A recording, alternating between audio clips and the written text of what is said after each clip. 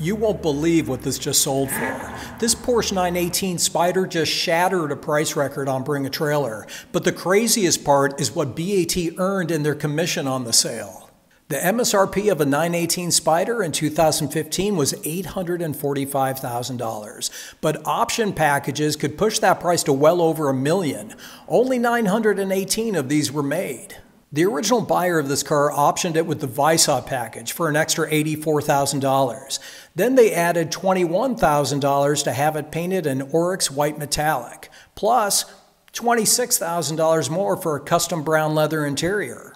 Add in a front axle lift system, special floor mats, and custom tailoring options, and the out the door price was 1 million on the nose. Ten years later, this car had only traveled 180 miles when it was put on Bring a Trailer. And the sale result? $2.9 million. So, how much did Bring a Trailer make on this sale? Well, traditional big auction houses charge 10%, so that would have been $290,000 in buyer fees. But Bring a Trailer is different. Their auction rate is 5%, and it's capped at $7,500. The buyer here saved over $280,000 by buying on BAT. That's where the smart money is shopping, and that's why they're the market leader.